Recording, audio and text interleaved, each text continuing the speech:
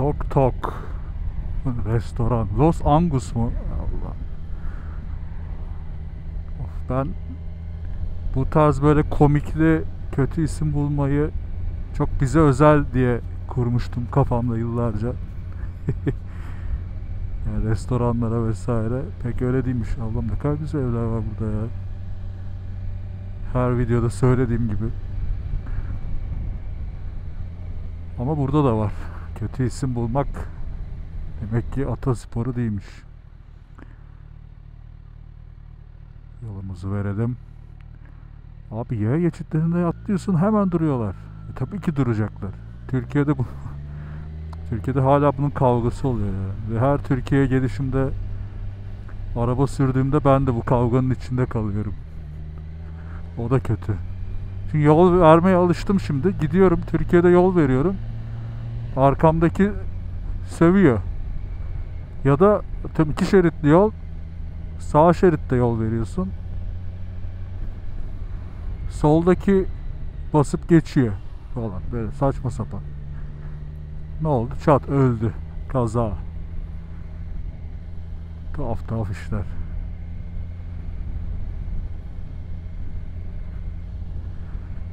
De yolda gelirken frende bir tuhaflık hissettim ama bir tıkırtı geldi. Bir şey oldu. Acaba araya taş falan mı sıçradı? Ne oldu anlamadım. Ya diske bir şey mi sıkıştı? Bir korktum ama sonra bir şey çıkmadı. Yani bir durup baktım.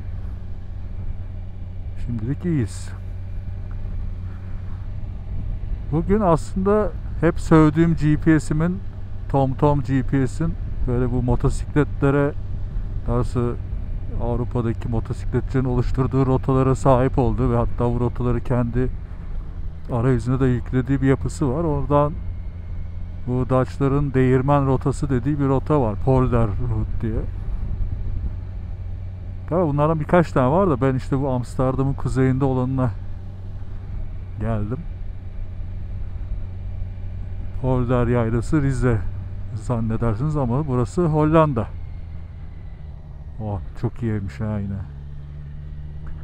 Burada evler e, gördüğünüz üzere muhtemelen yani çok üzerine kafa yormasak da pahalı gibi arabalardan anlıyoruz galiba. Audi'ler, Porsche'ler. Aa yok küçük araba da var. Ailenin küçük çocuğundur. Öyle bir Maserati sanırım bu. Ya Bentley'miş pardon. Güzel. Şurada bir Mercedes'imiz var. Hop. Bir motosiklet geldi. Etrafa bakarken yapışacağız yalnız. ha. Aa bak zengin evi dersin. Adam küçücük arabasında koymuş mu koymuş. Mis gibi takılıyor. BMW'ler güzel. Vay be. Peki biz ne yapalım? ha? Hayat size güzel be. Buraya benim Günhan'ı getirip ona devamlı peki biz ne yapalım dedirtmem lazım. Peki ben ne yapayım yani? Bundan 5-6 sene önce işte bu e, ilk yayıncılığa hatta başladığımda benim bir tane mini PC'm vardı böyle aşırı dandik. Onunla yayın yapmaya başlamıştık. Çünkü ondan önce yayında yapmadığım için ve oyunu ağırlıklı artık yani PlayStation 3 ve PlayStation 4'te oynadığım için bir tane laptop hatta biz ikili oyuna başladığımızda da laptopla kayıt alıyordum. İşimi görüyordu. Sonra yayıncılık dedik. Bir PC yetmedi. Şu oldu yok. Oyun da girdi. Şu da girdi derken dedim bari bilgisayar toplayayım demiştim. 2018 ya da 2017 idi galiba. O zaman bir Ryzen 5 2600'dü galiba işlemci tabi. Ryzen 5 2600. Ryzen 3 müydü onlar? Ya 3 ya 5. 3'e 5'e bakmayacaksın işte. İşte 16 RAM, RTX RTX değil, e, 5700 XT bir ekran kartı var o alette ve beni bayağı götürdü aslında. Yani işte kaç 5 sene olmuş 6 sene neredeyse. Ha hala da götürür bu arada. Ben hatta şu an yayınlar hala onda yapıyorum. Ama artık hani oyun oynamak işte yok Starfield, yok Starfield'da daha oynayamadım. Artık biraz zor olmaya başlamıştı. Ha dedim bari şimdi yayında da hani ben çift PC de kullanmayı çok istemiyorum. Şöyle bol çekirdekli bir işlemci çakalım. Buralar harbi çok güzel yerlermiş ya. Ama işte burada hızlı gidemiyoruz. Sıkıntı. Neyse gitmeyelim ceza yazarlar zaten. Çok tatlıymış ama. Şansınıza güzel havada bulduk burayı. Ne diyordum? Ha işte oyun oyun yayında da çift bilgisayar yapmayalım. Yaldır yaldır yayınımızı yapalım. Yüksek çözünürlüklü render da artık alıyoruz. 4K'sı bilmem nesi. Onu da hızlı çözelim. Dedim yeni makine toplayayım. İşte gaza da geldim. Ulan dedim hayatımda aldığım en iyi işlemci alacağım lan. Ne aldım? 7950X 3D işlemci aldım. Burada artık 30'muş yalnız ha. 30 ha 30 bölgesi bitti tamam. Ee, Corsair Classic Vengeance işte 32 RAM. Ama e, ha ekran kartı da sağ olsun Sungur çözdü bana bir tane 3070 Ti. O da o, o biraz bütçeyi rahatlattı. Neyse e, makineyi toparladık. Tabi EM5 ben ilk kez geçiyorum. Tabi benim önceki sistem EM4'tü. DDR5'lerimi de ilk kez kullanacağım. Tabi elimdeki her şey eski yani. Neyse makineyi burada Azerty diye bir yer var. Ee, güzel. O. Vay burada çok iyiymiş. Yani hem stokları geniş, fiyatlar ya fiyatlar bazıları uygun, bazıları bir tık pahalı, bazıları bazen Amazon'da uygun oluyor, bazen Azerty'de uygun oluyor. Böyle genel ama ortalamaya vurduğunda bütün parçaları aldığında biri ucuz biri pahalı derken aşağı yukarı aynı fiyata geliyorsa geliyordu pardon. Azerty'den alayım dedim. Çünkü şimdi garanti süreçleri falan burayı hiç bilmediğim için şimdi Türkiye'de olsa atıyorum alırım parçaları kendim birleştiririm makineyi kurarım çok sıkıntı değil. Ama dedim ki hani şimdi burada riske girmeyelim. Hata hata olur ki ben yıllar önce şunu yaşamıştım. Burada kontrol varmış. Biz burada kaç 50 değil mi abi zaman? 50 ile gidiyor muyum diye bir an şüpheye düştüm. Daha da yavaş gidiyorum. 40'ta gidiyorum. Ee, ne diyordum? Ha yani zamanında da hani bu overclock işlerine falan çok merak sardığım bir dönemde bayağı uğraşıyordum. Ki o zaman bile şöyle bir sıkıntı yaşamıştım. O zamanki e, E4 kaçtı ya o Intel'in E serisi işlemcileri çıkmıştı. Onlar baya güzeldi. Ya çok güzel overclock oluyordu falan. Neyse almıştım onu. Onu takarken artık acele mi ettik? E, dikkat mi etmedim? Ne olduysa orada ya da bir artık e, dandik bir anımıza mı geldi? Taktım işlemciyi. Makine devamlı kendini resetliyor. Ya da işte boot edemiyor bir türlü. Takılıyor. Anakartta işte hata veriyor vesaire. Yok çözemiyorum yani. Olmuyor. O zaman Hardware Arena diye bir site vardı. Oranın hala var mı onu da bilmiyorum. Ben de işte oraya soru falan sordum işte. Nasıl yaparız bunu falan. Aa dediler hemen şöyle yap böyle yap. Olmadı. Sonra orada tabii ki her forumun bir böyle tecrübelisi, gediklisi olur. Dedi ki bana bir getir bakayım falan. Ahmet'ti galiba adı da. Tamam dedim getireyim. Neyse eleman harbiden açtı baktı. Beraber bakıyoruz. Ulan nedir ne? Ha bir baktık. Bir tane iş yani CPU'nun tek bir pini. Bir tane pin ha. Böyle bir hafif yamulmuş. O yamulduğu için tam oturmadığından e, sokete reset atıyor. Hadi. Neyse çözdük. Ben rahatladım. Sonra o makineyi ben uzun süre kullandım zaten. Şimdi burada da aynı şeylerle uğraşmayayım. Hani burada da şimdi yol yordam çok bilmiyorum. Şirketler nasıl davranıyor aşırı iyi bilmiyorum. Dedim ki onların işte e, CPU soğutucu e, alt üstüne zaten Be Quiet Dark Pro 4 işte hava soğutucu almıştım.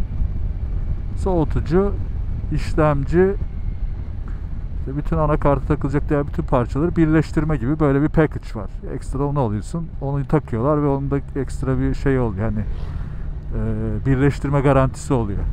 Yani orada bir hata olursa hata onların. Benim değil yani. Onu da aldım.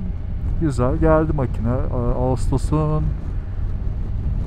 4'ü 5 yok 5'i gibi falan geldi bana. Ben de 7'si 8 gibi falan kurdum galiba.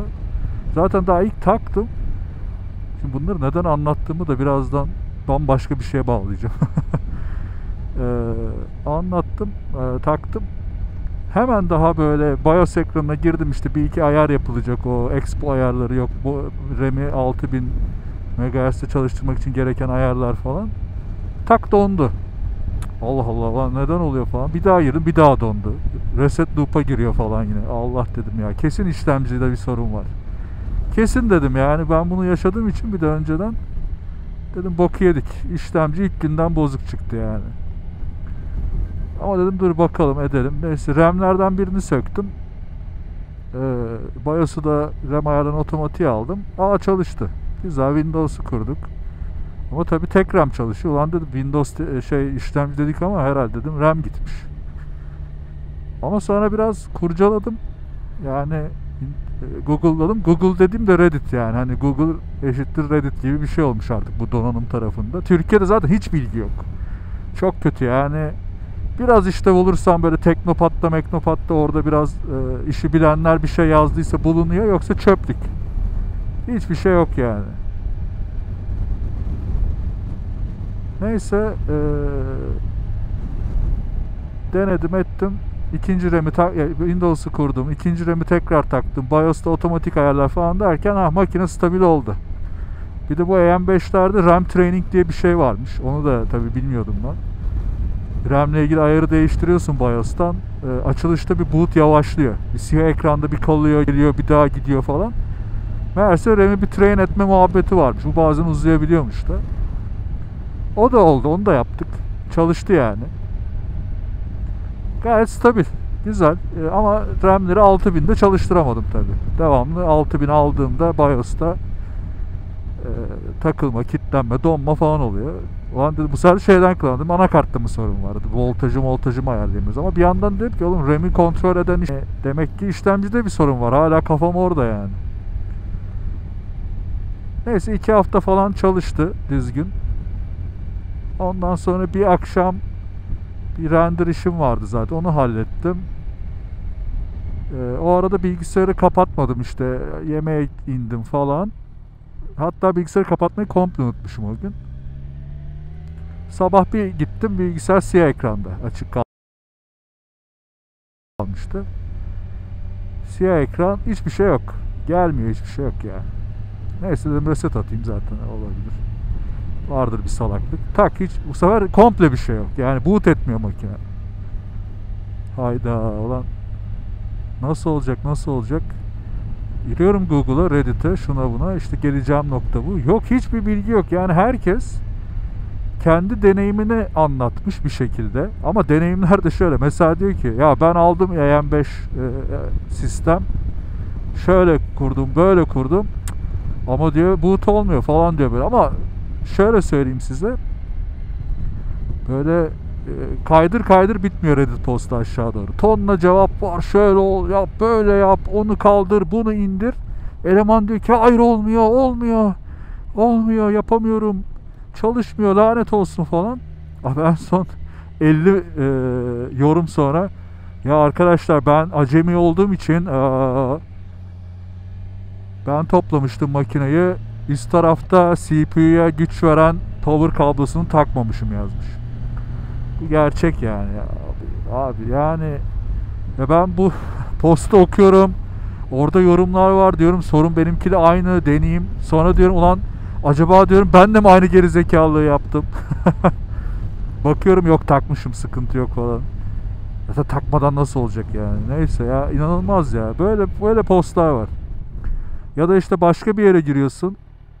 Ben hala işlemcide sorun olduğunu düşünüyorum. Abi kesin RAM falan yazmış. Biri gelmiş böyle üstad. Bir de böyle işte Salt yazıyor tamam mı? Reddit'te ya da bu Microsoft'un sitesinde falan da Microsoft'un help e, forumlarında da Salt çözüldü yazıyor. Giriyorsun bir bok çözülmemiş. Ne çözüldü oğlum? Ne yaptınız? Deliriyorsun böyle. Arıyorsun yok hiçbir şey yok. Onu taktım bunu tök, söktüm oldu falan yazıyor. Ah böyle delir, delirdim yani artık. Üstad bakıyorsun kesin RAM falan diyor böyle. Yani RAM değilsen yok yok kesin RAM. Başka bir şey olmaz. Gidin RAM alın falan yazıyor. Lan gidip millet altında RAM aldım yine olmadı falan yazmış. O zaman başka bir şey olabilir diyor. Lan, Lan oğlum zaten konu o değil mi? Başka bir şey zaten. Sen de milleti ikna etmişsin kesin RAM diye. Adam gidip RAM almış. Ama o da olmamış. Bir de götüne girmiş yani. Hay Allah'ım. Yani inanılmaz kafalar gerçekten. Buralar biraz rüzgarlı olacak herhalde. Bizi daha geniş bir yola çıkardı şehir içinden.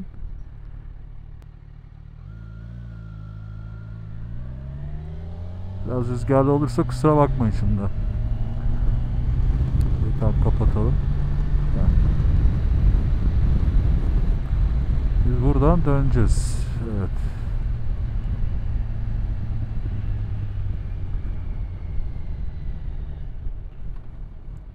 Yani şimdi ona inanıp gidip e, RAM alsan olmaz. Ya da işte elinizdeki sistem hani e, eski parçalarınızı kullanabileceğiniz bir sistem olsa okey o zaten çok rahat. Yani zaten mesela sonra başka bir lokal e, Hollanda'da yani bir Coolblue diye bir dükkan daha var. Onun Haarlem'deki şubesine başka bir parça daha aldım. Dedim bari yeni topladığım makine yeni bir kasaya koyayım. Eskisi yedek kalsın. Bu benim başıma sorun açacak diye. İşte power supply falan aldım. Orada bir çocukla konuştuk. O da zaten hep aslında eskiden bilinen yöntemi anlattı yani. Aslında olabiliyorsun ikinci el bir tane bilgisayar al onun parçaları dene sonra satarsın. Tabi o da iş tabi onunla da uğraşılmaz yani. Hoş garantimde de zaten garanti var yani zaten daha bilgisayarı parçalayalı bir ay olmadı. Neyse ee, bak bak bak yok yani bir bok yok. Yani işte diyeceğim konu da o. Yani artık internette bu tarz donanımdır, şudur, budur çözümlerini bulmak inanılmaz zor ve şunu fark ettim. Aslında bunun nedeni de aşağı yukarı belli gibi ya. Ya bilgisayar toplama işi tabii ki hani bak e, yine toplayan eden çok fazla. Ama artık tabii şeyler de çıktı. Yani hazır toplayan, testini yapan, e, direkt gaming machine, yok işte overclock machine, yok böyle su soğutmalar bilmem ne hazır toplayıp satan da çok dükkan, yapı, sistem, online siteler vesaire olduğu için muhtemelen kimse artık eskisi kadar kendi uğraşmıyor. Eskiden yine gidip işte e, Kadıköy'de eksen bilgisayar vardı, egza vardı falan. Onlara gider toplardın. Burası 50 diyor. Bu adam benim bayağı götümde geziyor. Şimdi sıkıştıracak beni sinir olacağım. Geç baba istiyorsan. Bilmiyorum burası 50 diyor yani. Şimdi beni sıkıştırıp ceza yazdırtma bana.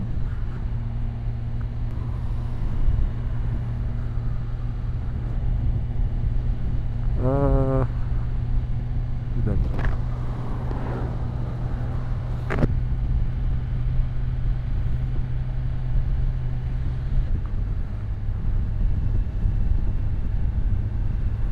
Ya kimse eskisi gibi bunlarla uğraşmıyor dediğim gibi. O yüzden de e, ya da uğraşsa da işte lokal şopu yok dükkanı şusu busu çözüyor muhtemelen. Gerek de kalmıyor yani. O yüzden de paylaşım ya da bu işte çünkü bazı postlar çok eski bazen görüyorsun aha diyorsun benim soruna benziyor 6 sene önce yazmış yani o teknoloji bile farklı yani o yüzden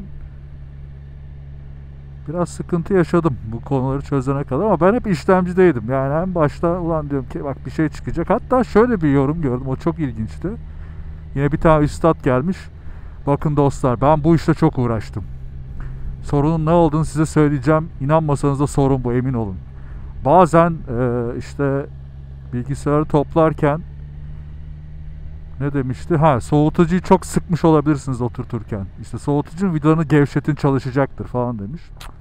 Ulan dedim hiç mantıklı gelmiyor tamam mı? Yani zaten ben onu çok sıkıp bir zarar verdiysem çok yüksek ihtimalle o zarar o zarar oldu, oluştu artık. Onu ben nasıl geri alacağım? Ki ben sıkmadım zaten şeyi de. Azartı da yaptırdık. Neyse. Hadi biz sola gideceğiz. Bir bakışımızı atalım. Heh. Ha bak bu BCC de bir tane şey dükkanı. Teknoloji elektronik dükkanı. Buradan da bir iki bir şey almıştım. Ulan dedim hadi yine de deneyelim. Yani sonuçta yıllardır uğraşmadık. Belki de harbiden bilmediğimiz şeyler olmuştur yani. Harbiden biraz gevşettim. Aynı e, iki tarafı da aynı şekilde aynı seviyede gevşeyecek şekilde açtım biraz. Yok tabii ki bir şey olmadı. Bir de bu tabii şey yine. Bu da başka bir Doğan'ın forumuydu. Tom's Hardware'daki forum olabilir. Orada da böyle evet abi sorunum çözüldü helal olsun falan. Ama zaten sorun şu benim makinem de iki hafta düzgün çalıştı. Çok, çok yüksek ihtimal işlemcide sorun olduğunda sorun bir yerden e, bir yerde çözülmeyecek hale gelene kadar bu yeni nesil AMD işlemcilerde patlak vermiyor ve böyle tuhaf çözümler çözüm gibi sunuluyor ve aslında işe yaramıyorlar. Sadece orayı kurtarıyor. Mesela bir sene sonra bozulan da gördüm çünkü. Ya ben bir sene çok iyi çalıştı ama şimdi hep hata alıyorum bilmem ne. Bunlar hep ol, olmuş. Gördüm onları da. Hepsi işlemciyle ilgili. Anakart değiştirmiş. Başta olmuş sonra yine aynı sorun çıkınca işlemci de değişmiş mesela. Bu da yine örnek.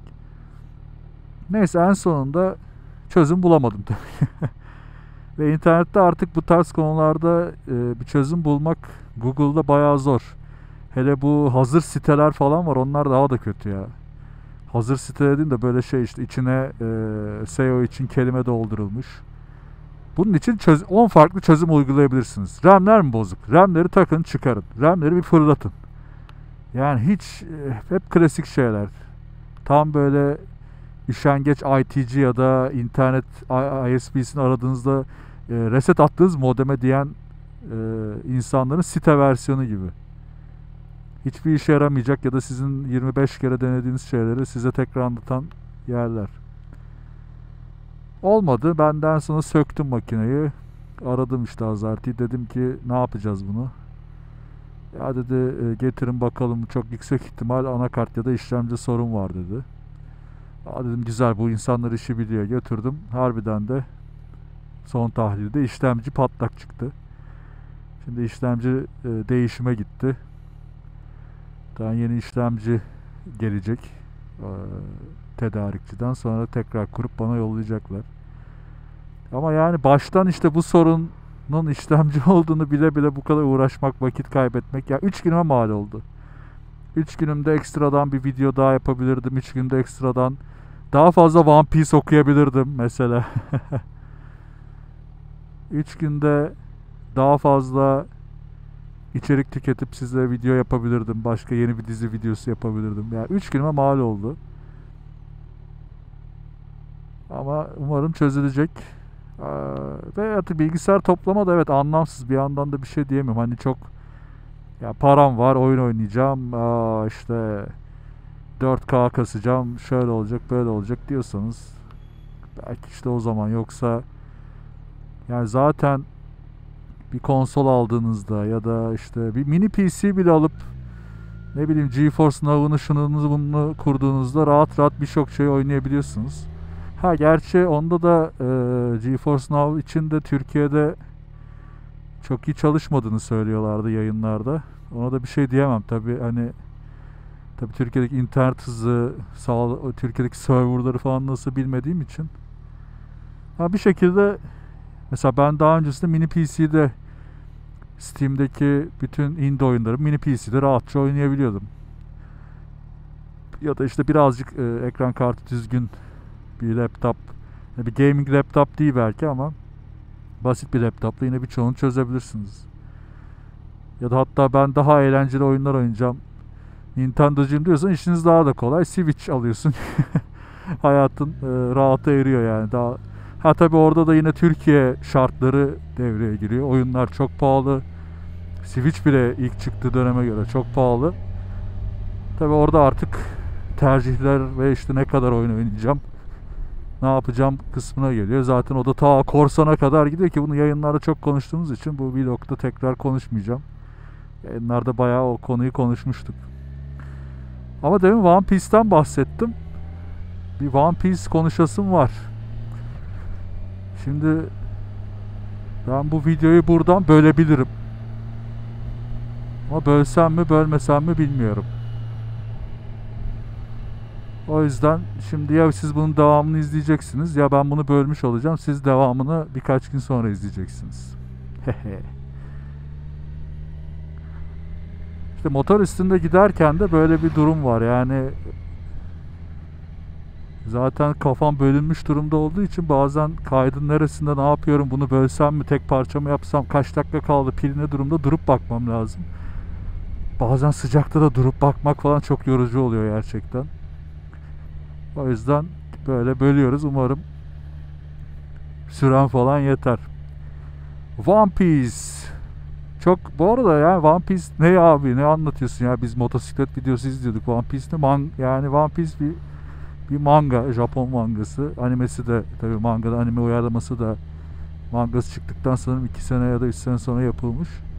Zaten yıllardır süren şu anda 1070'li bölümlerinde olan bir anime serisi. Mangada da e, yüz, işte bin, yaklaşık 1000 chapter'da mangada var galiba. Yani çok uzun ve büyük bir seri ve Japonya dahil dünyanın her yerinde Amerikan başkanı dahil herkes One Piece okuyor. Düşünsene Biden One Piece okuyor. İlginç. Ya da Tayyip Erdoğan, Recep Bey açmış One Piece okuyor. İlginç olabilirmiş. Belki de okuyorlardır bilmiyoruz. Hiç sanmıyorum. Ben de zaten uzun zamandır bir girmek istedim. Tabii Netflix dizisi de gelince gir, e, geliyorken de hani bunu konuşmamız lazım. Zaten yatay bakışta da konuşmak için.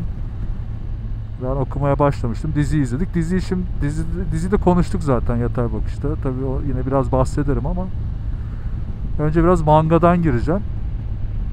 Ee, yani manga okumak ya çizgi roman okuma alışkanlığınız varsa ama işte ya Japon stili, tarzı, oradaki karakterlerin dünyası, yapısı bana tuhaf geliyor diyorsanız evet hani bu hep tartışılan konular zaten. Ama yani şu çizgi roman da böyle. Yani Avrupa çizgi romanlarında da çok tuhaf karakterler görebilirsiniz. Mesela Amerikan çizgi romanlarında mesela Bond diye bir çizgi roman vardır. E, tuhaf karakterleri vardır yani. İnsan olmayan karakterleri vardır. Ama çok güzel yine bir yolculuk hikayesidir. Ben zaten One Piece okurken de biraz o Bond hissini aldım. Ama hangisi önce çıktı deseniz hatırlamıyorum. Galiba tabii One Piece önce çıkmıştır ama hani birbirlerine esinlendikleri öyle çok da bir şey yok. Sadece hani farklı karakterlerin, farklı dünyaların yolculuk hikayesi. Zaten bunu şey şeyde daha çok hissetmiştim Berserk'te. Ee, yani oradaki hikaye mesela fantastik bir evrende geçiyor ki One Piece'in evreni de fantastik ama bu hikayeler aslında e, genel hikaye kurgusu çok benzer olduğu için dünyayı değiştirip anlatıya etki ediyorsunuz. Ne demek bu? Yani Berserk'teki hikayeyi al bir liseye koy. Da One Piece'teki hikayeyi al e, uzaya koy. Yine benzer şeyleri çok rahat anlatırsın ama etkisi, e, algısı, kullandığı araçları, hikaye anlatım biçimi farklılaşır. Teknolojisi değişir. O o dönemin içinde olan ya da ya da işte 90'larda başlamış, 2000'lere gelmiş ya da şimdi başlamış her insan için farklı algılar yaratabilir. Mesela One Piece'in daha böyle korsan dünyasını, denizlerde geçen bir dünyayı seçmesi aslında daha tabi 90'larda başlaması ve Eiichiro Oda'nın kendi geçmişiyle de ilgili ama insanları daha genel geçer e, ya da çocukluğunda bir şekilde okuduğu, gördüğü şeylere daha rahat alıştırabilecek bir dünya. Çünkü denizler işte orada geçen fantastik konular, korsanlar hep dönem dönem işlenmiş, asla eskimeyen. Hep e, orada duran e, evrenler. Star Trek'te mesela yine çok eskiden başlamış bir seri. Onun serisi bambaşka. Yani bilim kurgu tayfası daha etkinken işte One Piece'te belki daha e, dünyanın işleyişiyle ilgili algısı kuvvetli olan, bilim kurgu çok sevmeyen insanları daha hızlı yakalayabilir. Yani özetle yazarın tabii ki kişisel tercihleri üstüne ha buradan dönecekmişiz ya biz bu arada ben dönmedim. ben kaçırdım dönüş galiba. Dur neyse şuradan ileriden döneriz. Daha iyi. Şurada galiba kanal kenarından döndürecek beni. Oradan döneriz. Kanal kenarından geçeriz. Ben size değirmen göstereceğim diye çıktım. Çünkü deminden beri değirmen yok. Demek ki değirmenleri sonra görecektik. Neyse olmazsa o kısmı bir şey konuşmadan artık gösterebildiğim kadar gösteririm. Ne diyordum? Ha işte One Piece'te e, korsan dünyası içerisinde Eiichiro Oda'nın da geçmişiyle beraber yine aslında Japonların aile kurma, kendi dünyasından çıkma, o alışılmış, baskılanmış aile hayatlarından, okul hayatlarından kurtulma, oradaki cinsiyet rollerini, kimliklerini sorgulama, değiştirme, e, muhafazakarlarla gençlerin çatıştığı noktalar ki bu zaten One Piece'in en önemli temel merkezinde yer alan konulardan biri. Bunların hepsini almış, uygulamaya başlamış. Başa dönersem işte şunu demek istiyorum. Yani siz işte ben e, manga, animeye alışık değilim ya bakmam diyorsanız ve aslında bu konuları seviyorsanız bakabilirsiniz. Çünkü bu da aslında bir muhafazakarlık gibi geliyor bana. Yani, çiz, yani genel olarak çizgi dünyadaki içeriği tüketmeyi seviyorsanız manga ve anime de aşırı farklı değil. Yine alışırsınız. Yani burada aslında farklı olan tabii ki farklı şeyler var. Sizin alışkanlıklarınızla eşleşen, kesişen yerler. Onları bulmanız lazım yani. Ben nereye geldim ya? Baya böyle çayırın çimenin ortasına geldim. Beni burada umarım öpmezler yani. Sonra diyor ki ben ileriden sola dön ama oradan sola dönüş var mı ya? Ha varmış ileride tamam. İleride sola dönüş var. Ama bayağı hiçliğin ortasında gibiyim. Vay be şurada bir tarla mı alsak acaba ileride? Animeyi de izleyeceğim. Diziyi de izledim. Ve dediğim gibi şey hissi çok hoşuma gitti. Yani bugün yani şimdi motor üstünde oturup da uzun uzun hikaye analiz falan zaten bunun için ayrı video yapacağım için oraya çok girmeyeceğim ama şu çok hoşuma gidiyor. Yani Star Trek'te de bunu hissetmiştim işte kanalda yaparken. Ee, yeniden böyle bir çok hızlı adapte olabileceğin, empati kurabileceğin, seni gerçekten bir yolculuğa çıkarıyormuş hissini yakalayabileceğin heyecanı sana veriyor. Müthiş. Çok keyifli o açıdan. Çok hoşuma gitti yani. Bu arada ben buraya girdim de burada sırf bisiklet falan var ha. Burası inşallah bisiklet yolu değildir sadece. Vallahi patlarız. İnsanları çarpmadan şöyle geçelim. Normalde GPS'imin güzel kafası dönebiliyor.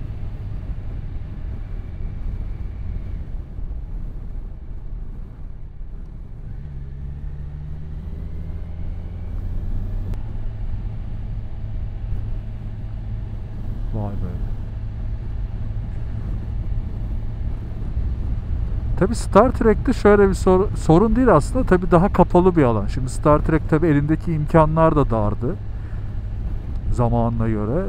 Ve gittiği dünyaların aslında çok küçük kısımlarını biz görebiliyorduk. Ve hatta böyle daha geniş baktığında mekanları, e, indikleri bir gezegenin dünyasını daha geniş, güzel tasarımlarla gösterdiğinde çok hızlı etkileniyorduk yine yani. Çünkü gerçekten güzel gözüküyorlardı. Ve güzel gözüktükleri için de şeyi istiyordum ya ama keşke daha çok görsek, daha çok görsek. Ne kadar güzel olur falan diye.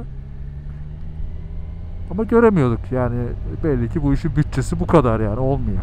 Görme imkanınız yok. Şimdi zaten manga ve animenin güzelliği de bu. Tabi animede bütçe işi daha acayip ama mangada size o kadar çok şey gösterebiliyor ki. Gördüğünüz mekan içini, dışını, her yerine girip çıkabiliyorsunuz. O yüzden e, keşfetme ve keşif, her adanın keşif hissi daha da güzel geliyor. Bambaşka bir dünyaya gidiyorsunuz.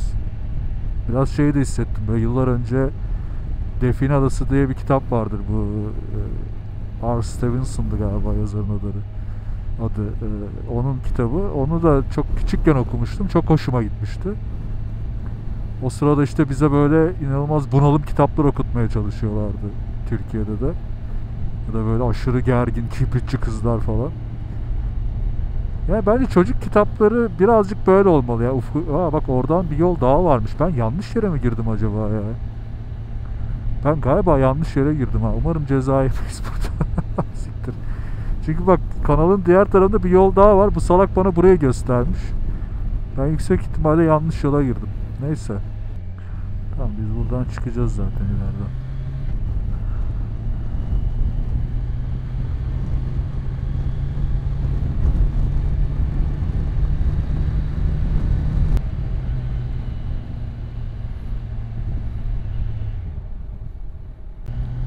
Yani işte keşke diyorum ki bazen e, bizim çocukluğumuzda da hatta şimdi okunuyor e, hatta liselerde falan bile filmler izleniyor ilkokulda ortaokulda daha farklı kitaplar okutuluyor duyuyorum onları keşke bu tarz mangaları çizgi romanları vesaire de oraya dahil etselermiş hep bir küçümseme olduğu için orada Ha tabii yaş sınırı var. Hani onu söylemek lazım. Sonuçta şiddet var. O yüzden hani ilkokulda olmaz muhtemelen ama hani onun doğru yaş sınırında okutmak, göstermek çok daha güzel olurmuş. Ve şöyle bir güzellik de var. Diyelim ki mangayı okumadınız. Animeyi de ya benim yine sen anlattın ama boşa anlattın kral. Ben okumayacağım, izlemeyeceğim diyorsanız diziye geleyim. Diziyi bence kesin izleyin. Yani hiçbirini tüketmeyecekseniz diziyi tüketin. Çünkü dizi bütün e, mangadaki, animedeki özü koruyor. Bu çok önemli bir şey uyarlamada. Özden kastım tabii ki şu değil. Karakterin ten rengi falan değil. Kuduruyor ya böyle insanlar. Lezbiyen yapmışlar. Benim güzel memleketimi lezbiyen yapmışlar. Değil. Ya da işte siyah olmuş. Değil. Bunların hiçbiri değil. Bu değil. Bu hiç değil. Özünden kastım Eiichiro Oda'nın e, gelmek istediği nokta. Yani ailesi dışında bir aile kurmaya çalışan, dostluklar kurmaya çalışan Luffy'nin çünkü başta yetim olarak görüyoruz. Luffy'nin bunu başarma çabası, dünyadan kopuk olması, tecrübesizlikleri, kurduğu dostlukların ona kattıkları, kurduğu ilişkinin ya da çözüm yollarının şiddete dayalı olup olmaması, Artı olarak e, burada yol bizde. Artı olarak işte hayatta karşılaştığı bütün farklı yüklerin, gittiği bütün farklı dünyaların işte bu mesela gerçekte bir iş hayatında gittiğiniz yeni bir şirket, bir okul, akrabalarınızın yanı vesaire her şey olabilir. Bunların hepsinin e, hayatınızı nasıl etkilediği, nasıl etkileyebileceği ve burada neler yapacağınız, nasıl çözümler bulabileceğiniz ve burada hayatınızı neler sunabilece sunabileceğiyle ilgili çok fazla şey söylüyor. Tabi yine burada cinsiyet rolleriyle ilgili gerçekten daha başında bile e, önemli bir şekilde bunlara uygun bir şekilde hikayeyi kuruyor. Ve burada bazı şeyleri değiştiriyor, sorguluyor vesaire. Ve bunu e, bir dizi alışkanlığında, dizi mentalitesinde, insanın alışkan, alıştığı görsellikte, alıştığı ee, şeyde çok rahat yapıyor kafa yapısında. O yüzden de dizi çok rahat izleniyor.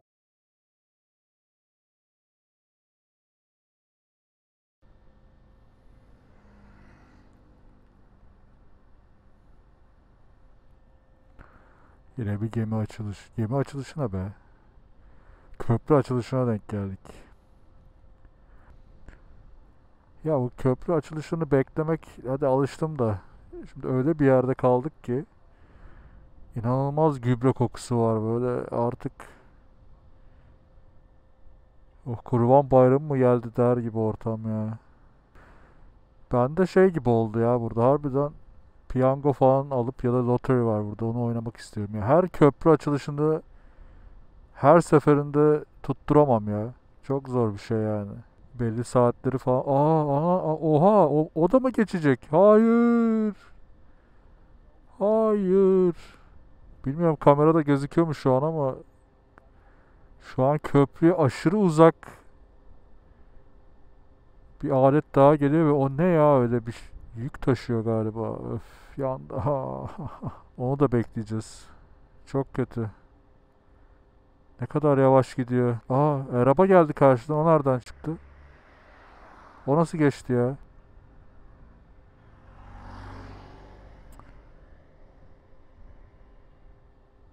Yok ya evet ben de öne gideceğim galiba ya. Evet burada vallahi motorcu kardeşim bana da ilham verdi. öne doğru gideceğim. Bu iş bitmeyecek yoksa yani. Şuradan gidelim.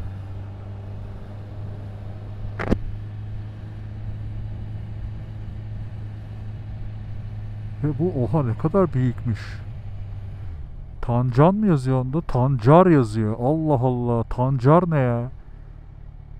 Bir an Tancan yazıyor zannettim. Tancar yazıyormuş. Valla geldim ben de öne. Bekleyemedim.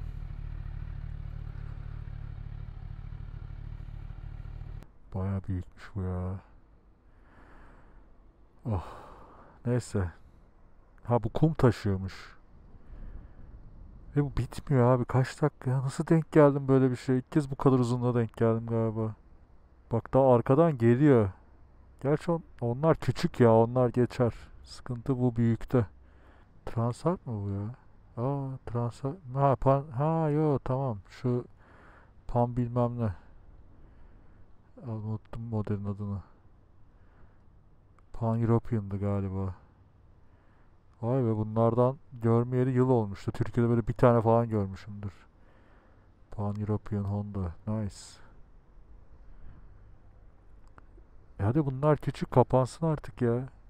Aa kapanmadı. Vallahi bekliyoruz. Karşıda da var bir grup. İnmiş onlar hatta muhabbet ediyorlar. Heh oh iniyor. Tamam. Bendeki sigara mı içiyor? Duman çıktığı gibi oldu. Allah Allah. Ha o cisim emiyormuş pardon. Elektronik. Madem köprü açıldı niye cisim emmeyeyim? Ha, mantıklı. Artık gidiyoruz. Oha! Karşı tarafa bakın nasıl birikmiş. Wow! Kral çıktı valla. Selamlaştık. Dayı tabi ağır topa çıkar.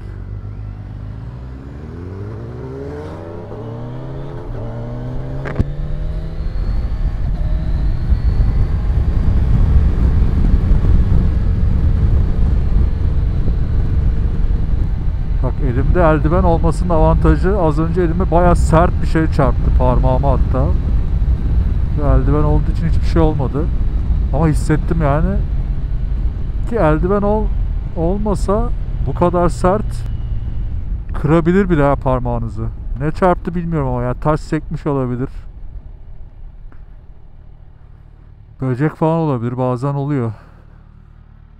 Baya sertti ama yani.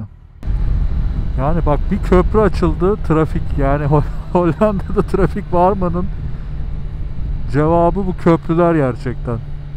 Ha şimdi tabii şey de oluyor onu da söyleyeyim. Ee, yoğun şehirlere özellikle iş çıkışı saatlerinde gidiş yönünde trafik oluyor çünkü Amsterdam ve çevresinde çalışan çok var ama herkes Amsterdam ve çevresinde oturmuyor pahalı olduğu için. Rotterdam'dan ne bileyim işte Utrecht'ten eee, ne bileyim daha farklı çevre şehirlerden şu an aklıma gelmiyor. Onlardan gelip giden çok oluyor. O saatler trafik olabiliyor. Ama şu trafik gerçekten eee, dar bir yoldaki köprünün trafiği yani.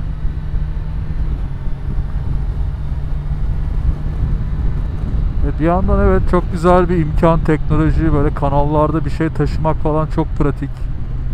Çünkü görüyorum yük falan da çok taşınıyor işte siz de gördünüz şimdi kum taşıyorlardı. Hatta insanlar işte kendi botlarıyla da her yere gidip gezebiliyorlar. Daha onların elektriklileri de var falan. Ama yol yol konusunda işte teknoloji iyi gözükse de çok vakit kaybettiriyor gerçekten ve trafik yaratıyor yani. Yapay bir trafik yaratıyor. Ya biraz daha yoğun olsa, yoğun bir saat olsa belki de daha da kötü olacak.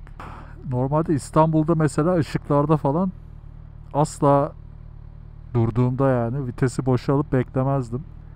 Çünkü o kadar yani durduğunuz yerde bile tehlike olduğu için ki birkaç kere kurtarmışlığım vardır yani hani arkadan gelen arabanın duramayacağını sezdiğinizde vesaire.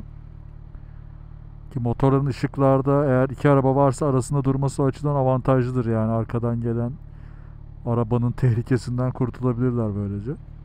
Ama burada ışıklar hem çok hem uzun hem bir de bu köprüler olunca artık alıştım. Valla boşa atıp bekliyorum yani. Devamlı debriyaj debriyaj elin, eli, eli uyuşuyor insan. ne dertler var arkadaş ya.